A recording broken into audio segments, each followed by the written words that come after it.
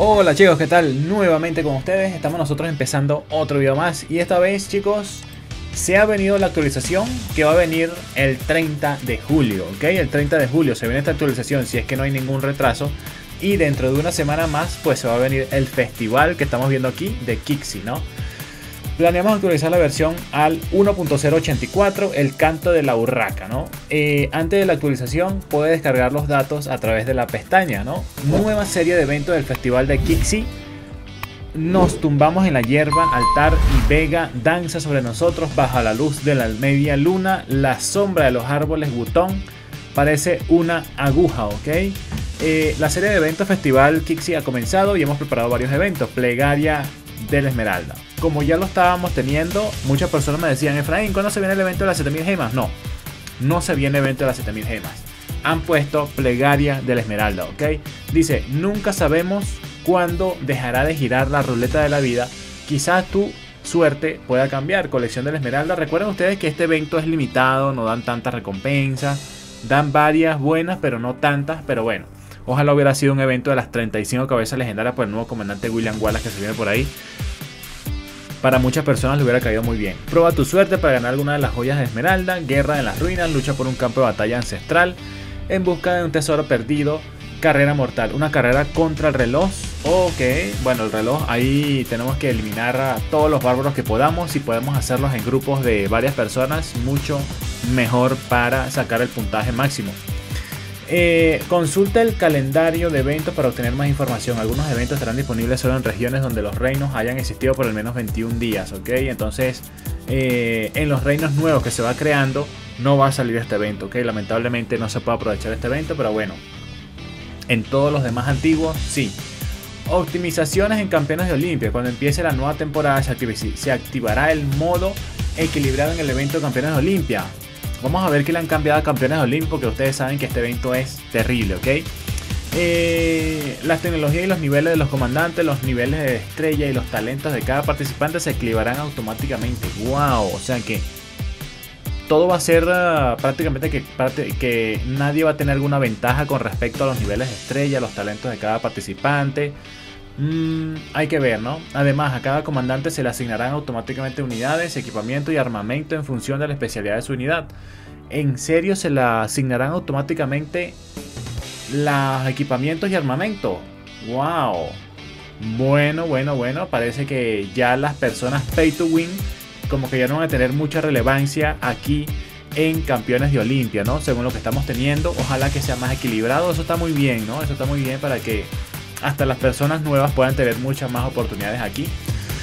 Tamaño de equipo. Puedes hacer cola para jugar partidas clasificatorias en equipo tú solo o como miembros de un equipo de 2 o 3 o 5 combatientes, ¿ok? Uh, vale, vale. Puedes hacer cola para jugar partidas clasificatorias en equipos. Tú solo o como miembro de un equipo. Bueno, eso está bien, ¿ah? eso está bien. Ajuste de puntos de actividad. Puedes ganar puntos de actividad luchando en cualquier mono. Modo. Ganarás el doble de puntos en el modo clasificatorio de equipos, ¿ok? Ah, vale, vale, ok. Ganarás un poco más cuando juegues en equipo con otras personas. Ajustes de final de temporada.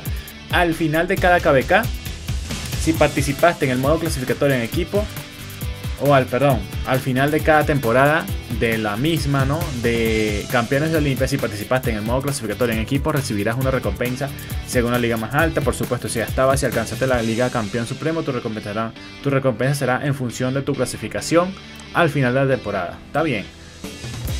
Nuevo sistema de reputación.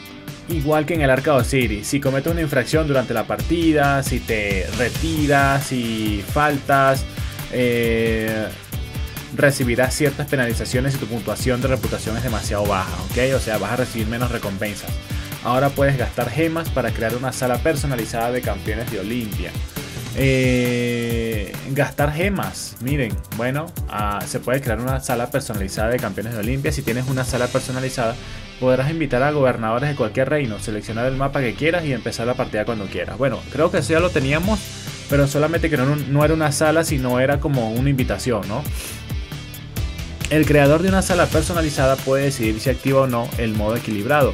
En las salas personalizadas también puedes asignarte uno de los asientos de espectador para presenciar la partida, ¿no? como espectador. Yo creo que esto, esto de espectador de una partida va a ser una tontería, bro. ¿Ok? Porque en campeones de Olimpia hay muchas personas que es que ni siquiera quieren estar ahí jugando porque es que más se pierde el tiempo jugando, buscando todas las recompensas recolectando gemas o haciendo tu trabajo en tu juego normal, ¿no? Optimizaciones del Arca de Osiris, nuevas partidas personalizadas. Ahora puedes gastar gemas para crear una partida personalizada del Arca de Osiris, ¿no? Gastar gemas para crear una partida personalizada de Arca de, Arca Osiris. Aunque eso ya lo teníamos, ¿ah? Esas partidas de prueba del Arca de Osiris pueden invitar gobernadores de cualquier reino a unirse. Los, ah, bueno, eso de eh, invitar a cualquier eh, jugador de cualquier reino eh, ya lo teníamos, ¿no? O sea, ah, no, lo que teníamos eran las partidas de prueba del reino, sí, de la alianza, ¿no? Vale, vale. Los administradores de una partida personalizada pueden decidir si activan o no el modo equilibrado. O sea que ya puedes jugar una partida de Arca de Osiris con otras personas para ir probando, ¿no? A cada persona a ver cómo juega. Si el modo equilibrado está activado, todos los combatientes podrán elegir entre un grupo de, de comandantes igual de poderoso proporcionado por el sistema. Ok, además podrán asignar los talentos de sus comandantes antes de que comience la partida. Mejoras en los gráficos, ¿no? Aquí las mejoras en los gráficos, en el Arca de Osiris y otros eventos relacionados. El tema de ciudad eh, que tengas en ese momento se mostrará en el campo de batalla del Arca de Osiris. Bueno, aquí lo que están eh, diciendo es que han mejorado un poco el Arca de Osiris en sus gráficos, ¿no? Eso está bien, eso está muy bien, está perfecto porque cada vez estamos viendo que el juego se está mejorando más y más. Eh, y bueno, optimización de la asignación de roles. Ahora puedes asignar roles en el campo de batallas a los combatientes, tanto en las partidas de práctica como en las personalizadas, ¿no? Entonces, pues aquí también vamos a tener una situación con respecto a los roles, ¿no? En el campo de batalla de los combatientes. Ahora puedes tener eh, partidas de práctica, ¿ok?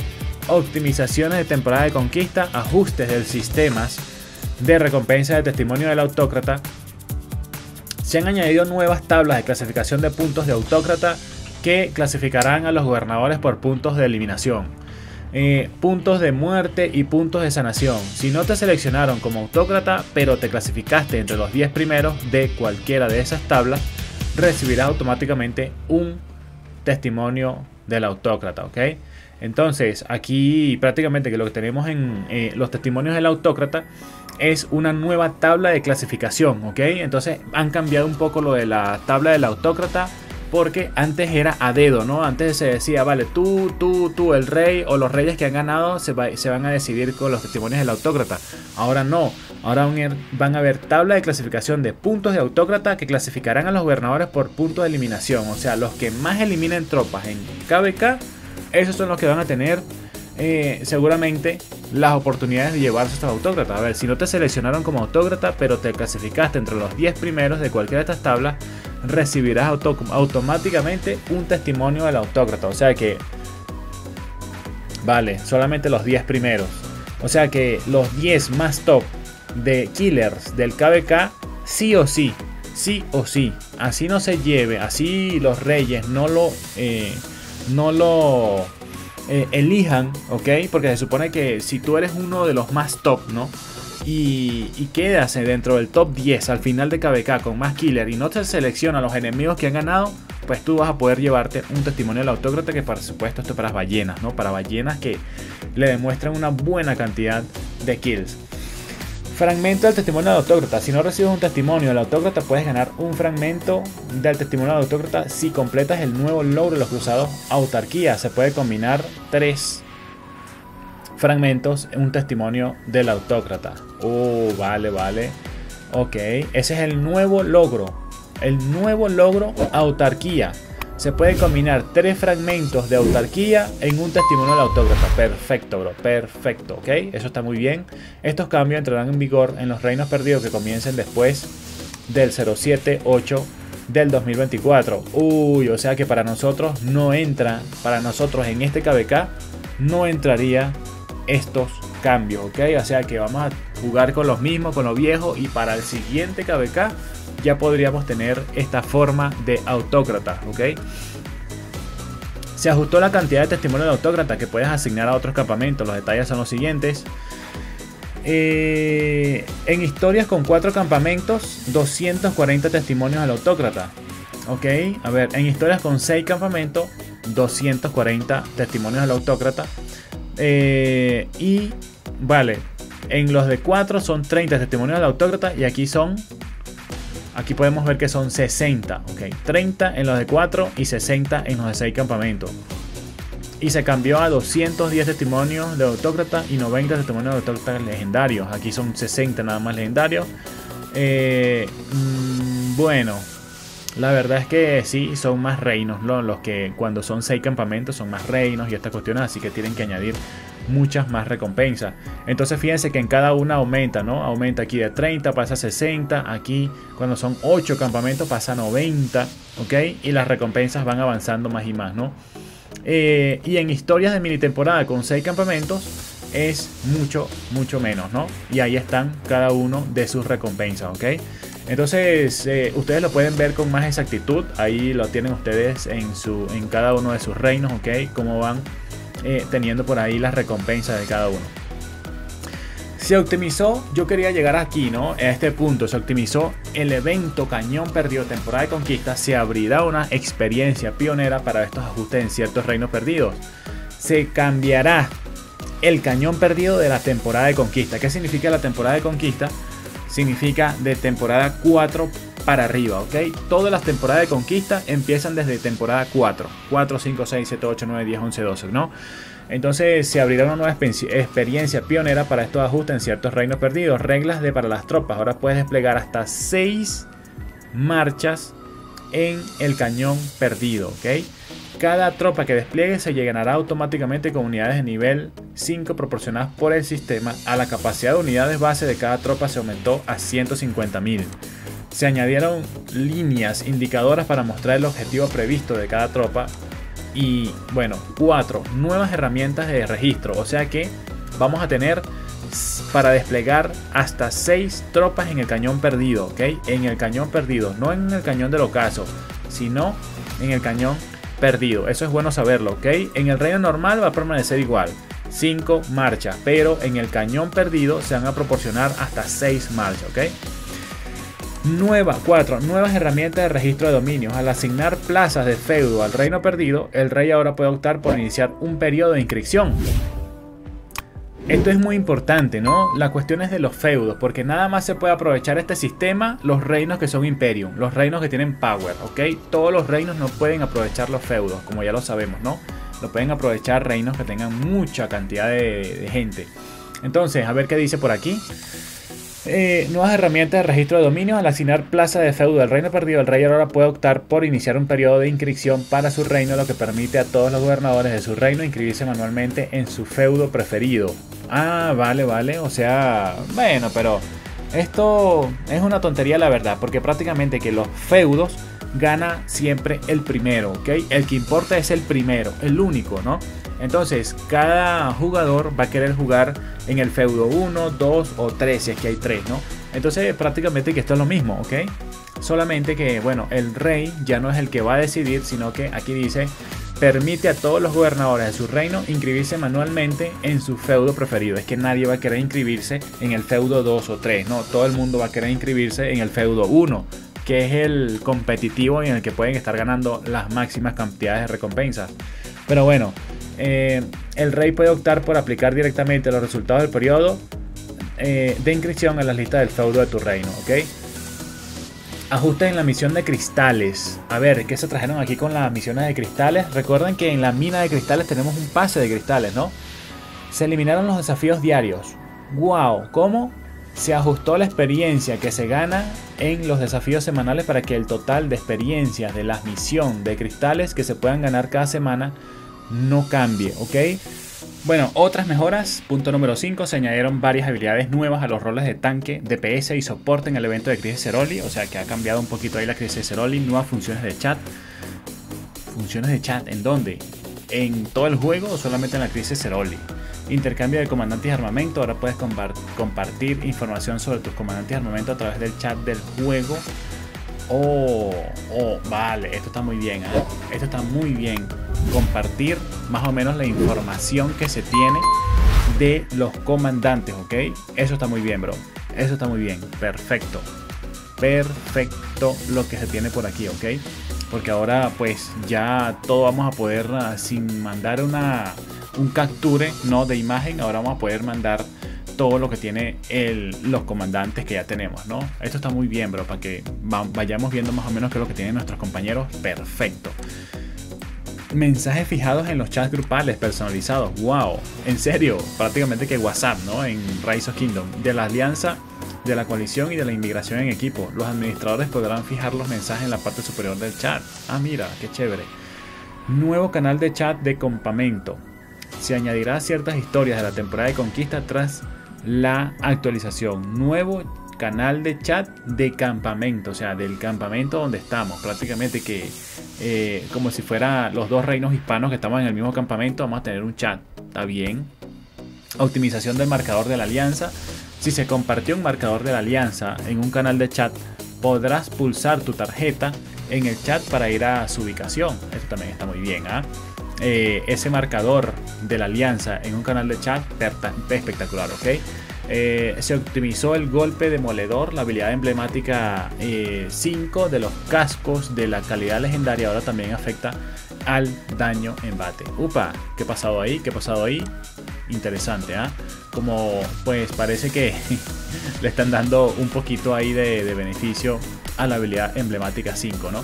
Se reforzó la seguridad de la cuenta. Si estableciste una contraseña secundaria, ahora tendrás que inscribirla cuando vincules un nuevo método de inicio de sesión. Ok, perfecto, eso está bien. En la fase 2, esa contraseña está muy bien, bro, porque esa es la que va a decidir, eh, esa es la que te va a resguardar un poco más la cuenta, ¿no? Siendo tú el dueño, el dueño de la cuenta. En la fase 2 del evento Gloria Pasada, ahora puedes reclamar cofres de recompensa de forma masiva.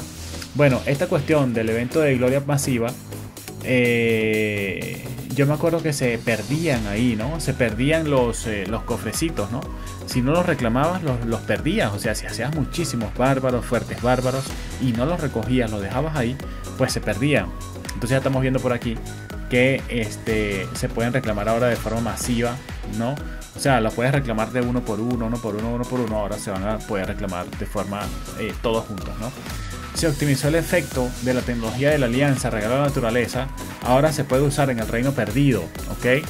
Si se usa en el reino perdido, en lugar de generar puntos de recursos, eh, aumentará la velocidad de recolección de todos los miembros de la alianza. Uf, ok. Está muy bien, bro, está muy bien. Tanto si están en tu reino original como el reino perdido. Y se agregó contenido narrativo a nuevo a diversas partes del juego. Bueno, eso ya lo, ya lo habíamos viendo poquito a poco. Como habían partes narrativas en el juego que pues no eran, no eran dichas. Pero me ha gustado muchísimo. Ok. Me ha gustado muchísimo por aquí lo de los marcadores y lo de poder compartir eh, qué equipamientos y qué armamentos tenemos nosotros a un compañero o al chat. ¿no? Eso está espectacular. También estamos viendo algo muy importante con respecto de eh, el cañón perdido, ok, donde ya estamos viendo cómo se añadió una sexta marcha para el cañón perdido, ok. Esa sexta marcha, muy interesante lo que tenemos por ahí. Eh, pero también un poquito fail, ¿no? Porque nosotros prácticamente que los eh, free to play no podemos competir contra todas esas ballenas. Ahora, a nosotros nos caería un poco mal esto, porque si ya habrían, o sea, si nosotros no encontramos, a pesar de que tenemos toda esa cantidad de fuerza, no encontramos subir tan top, ¿no? Tan muy top eh, en el cañón del ocaso, ahora con el, con el cañón perdido, perdón, ahora con esta sexta marcha más que van a añadir, pero, o sea, esas ballenas se van a ir muchísimo más arriba. Solamente las ballenas que pagan a full van a poder estar en esos top top que es donde tienen, sacan las 6, 7 marchas a full, ¿no? Algo que estábamos viendo es que no se viene todavía eh, la limitación de la migración a KBK2, ¿ok? Todavía se va a poder migrar a KBK2, no estamos viendo que lo han implementado, pero seguramente para la siguiente actualización ya no se podrá migrar a KBK2, eso es algo que tenemos que tener muy en cuenta ahí, y hay algo que tampoco hemos visto aquí en la actualización es que se vienen los nuevos gráficos, todavía no se han abierto los nuevos gráficos y prácticamente que lo que nosotros hemos tenido con esa prueba de gráficos nuevas es que eh, me han preguntado mucho, ¿cuándo se viene? ¿Cuándo esto? Bueno, yo les he dicho que se viene más o menos en el aniversario, ¿ok? y prácticamente que pareciera que fuera así, ¿ok? Prácticamente que pareciera que fuera así. En el aniversario van a sacar los gráficos para todo el mundo y todas estas cuestiones, ¿no? Entonces ahí prácticamente nosotros vamos a poder ah, pues tener los gráficos nuevos y poder beneficiarnos de esto, ¿no? Entonces eh, eso es una de las situaciones que podemos ver, tener ahí muy pendiente que podemos aprovecharlo, ¿no? Entonces, chicos, qué bueno que, bueno, siempre estamos viendo algunas actualizaciones, pero yo veo que faltan más todavía, ¿no?